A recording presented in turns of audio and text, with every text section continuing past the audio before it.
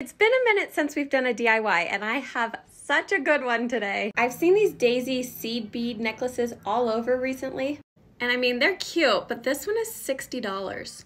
I Thought this would be the perfect summer DIY to do. Here's a little sneak peek. It turned out really cute. So for materials, you'll need seed beads, crimp beads, a lobster clasp, and of course, beading wire. To start, string a crimp bead and a lobster clasp. Then loop the wire back through the crimp bead, then using pliers, crimp that bead down so it looks like this. Cut off the excess wire and then string your beads. To make a daisy, string four petal beads, then one for the center. Loop the wire back through the first bead that you strung, and then when you pull it tight, it'll make half of your daisy. And string three more petal beads on and loop it through this side bead. Then when you pull it tight, your daisy is formed. Continue this as long as you want, and then repeat the same process that you did at the beginning for the end, and you have the cutest seed bead necklace.